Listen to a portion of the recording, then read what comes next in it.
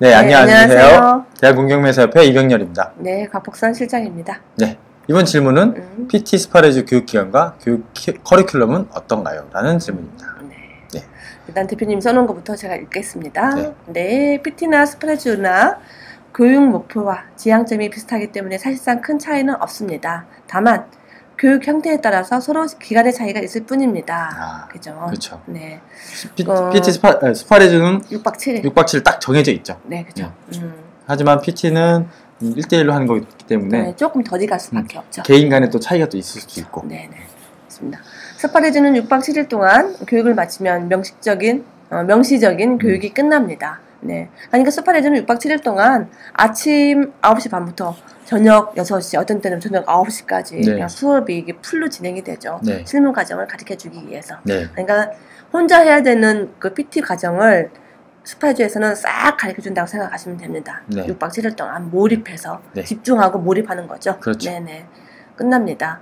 6박 7일 동안 네이버 밴드를 통해서 사진과 동영상들을 공유하며 경매 실전을 집중적으로 배우고 훈련합니다. 음, 졸업 이후 스파레쥬 낙, 음, 스파레쥬 생들은 낙찰, 명도까지 조언을 받을 수 있습니다. 그러니까 배우고 물건을 고르게 되면 서비스를 쫙 받는 거예요. 스파레주를 끝난 다음에 그죠? 네. 음, 이 조언은 서비스일 뿐 정식 교육의 일부가 아닙니다. 네. 그러니까 어떤 교육생들은 서비스를 신청하시는 분들도 있고 스파레주 6박 7일만 마치고도 스스로 물건을 낙찰을 받는 교육생들이 상당히 많아요. 네. 어, 그렇지만 이제 아 나는 이왕 이 서비스가 있으니 대표님한테 자문 구하면서 음, 내가 부족한 게 없는지 빠뜨린 건 없는지 이렇게 여쭤보면서 진행해 주는 거는 서비스입니다. 네. 누구나 서비스 신청하실 수 있습니다. 네. 근데 이 서비스는 음. 그냥 가만히 있으면 주는 건 아니죠. 아 당연히 신청해야 주지. 네. 본인이 이제 뭘- 조사 보고서를 올라와야 그렇죠. 되는 거고. 보고서가 오- 음. 오 고 또는 질문이 들어가야지 되고, 그 그렇죠. 서비스가 진행이 되겠죠. 그렇죠. 네. 그래서 그러면은 낙찰 받고 뭐 명도면 명도까지 음. 그다음에 뭐 전월세 내는 것까지도 음. 계속 여쭤보면 됩니다. 그렇죠. 대표님 저도 어디다 써먹어? 데 그렇죠. 써먹는 거지. 그렇죠. 팍팍 써먹으면 됩니다. 안 써먹어서 문제입니다. 자, PT는 음, 교육기간에 제한이 없습니다. 그러다 보니 장기간 이른바 죽은 PT로 활동하지 않거나 공부를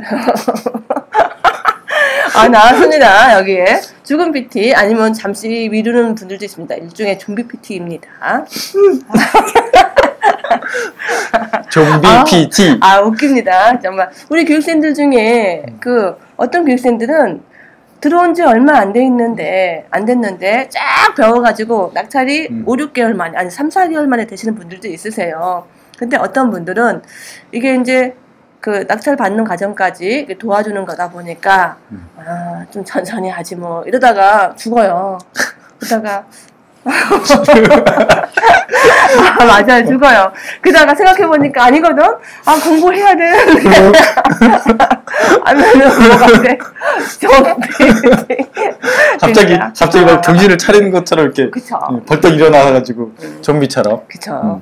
그래서 어쨌든 하고자 하는 열정만 있으면 네. 나중에 또 들어오시면 다 받아들이니까 어, 언제든지 다시 한번 나, 아, 나 공부 1년 동안 쉬었는데 다시 해야 되겠다 하시면 됩니다.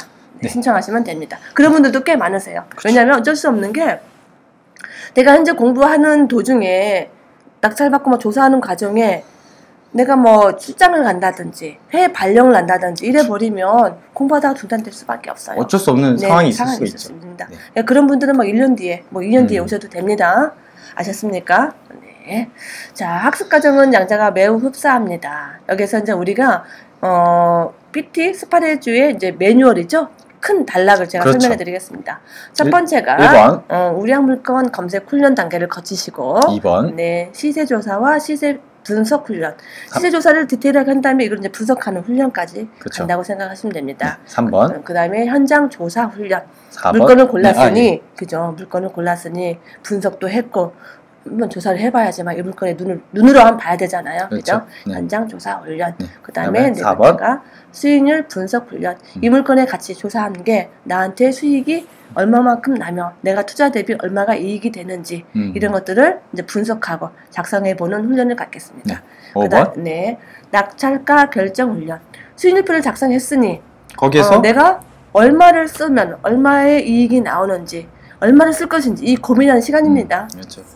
수익률표는 어 어느 정도 금액을 정해놓고 쫙 늘어놓는 거죠. 그죠? 예. 이게 뭐 내가 2억의 물건을 낙찰 받을 거다라고 생각했으면 2억 500부터 쫙 밑으로는 뭐 1억 5천까지 해서 그러면 나는 이거를 정말 얼마를 쓸 것인가. 음. 어, 이 이제 훈련이 여기서부터 이제 음. 마인드가 아, 필요하죠. 여기서 진짜 어. 부자 마인드가 들어가죠. 음. 예, 이게 이제 고민이 많이 나는 단계예요. 맞습니다. 사람 심리가 조금 쓰고 싶은데 그럼 음. 뭐 분명히 떨어지는 거고. 그래서 우리가 이 낙찰가 결정할 때 정확하게 내 마음을 표현하기 위해서 음. 시조사 분석이 필요한 거예요. 맞습니다. 조사와 분석이 완벽하면 내가 얼마를 쓰는 결정 훈련이 빠르죠. 맞습니다. 근데 음, 시의 조사가 정확도가 떨어지면 음. 부실하면 음. 여기서 고민이 돼.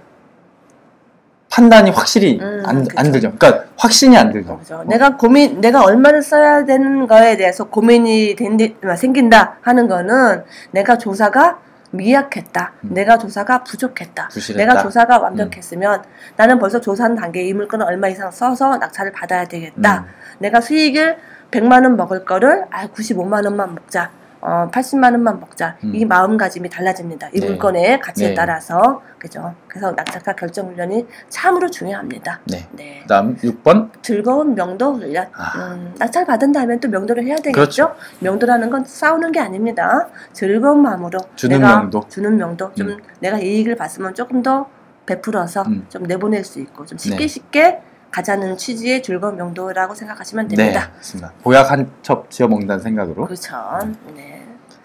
자, 실제 교육생들은 음. 본 과정을 마친 후에도 소금쟁이 활동을 통해서 지속적인 경매 조언을 받기도 합니다. 음, 또 한 건 낙찰과 명, 도가 끝난 이후에도 별도의 조언을 받을 수 있지만 어디까지나 의무 규정은 아닙니다. 아, 네. 근데 이제 중요한 건 내가 하나의 물건을 낙찰 받았잖아요. 이 마음의 열정을 꾸준히 유지해 나가는 거는 음, 또 저게 필요해요. 그럼요. 어떤 내가 항상 경매라는 그 우물 안에 항상 거기 살아야 돼. 맞아요. 그죠? 그러니까 그런 모임에 참여한다든지 어떤 교육에 꼬박꼬박 오신다든지 뭐 우리 케양장 세미나도 있잖아요. 그렇죠. 그죠? 희학장 세미나와 음. 소금쟁이 활동 음, 이거를 통해서 그렇죠. 열정이 식지 않게 식지 않게 예, 또 여기서도 꾸준히 할 수 있게 소금쟁이에서도 또 질투가 나와가지고 그쵸. 어, 막 교육생들이 막- 계속 막- 열심히 막 해서 박차를 이것저것 받다 보면 또 내 마음 속에서도 음. 아 나도 더 열심히 해야 되는데 음. 열심히 해야 되는데 이 마음이 가다 보면 뭐가 나와요? 성과가 나오고 결과물이 나온다는 겁니다. 그리고 거기서 정말 깨알 같은 또- 돈 되는 정보가 있잖아요. 그렇죠. 그렇죠. 음. 그거는 진짜 돈 주고도 살 수 없는 그쵸. 정보들이죠. 그러니까 주위에 경매를 생각하는 사람들이 많아야 된다는 거죠. 그렇죠. 우리가 이게 소금쟁이나 뭐 키양장 세미나 오신 분들은 오직 경매만 생각하니까 그렇죠. 경매 얘기가 항상 막 나오죠. 항상 화두죠. 네. 엑기스적인 얘기가 네. 나오니까 도움이 되죠. 네. 아, 네. 오늘은 여기까지 하겠습니다. 네, 감사합니다.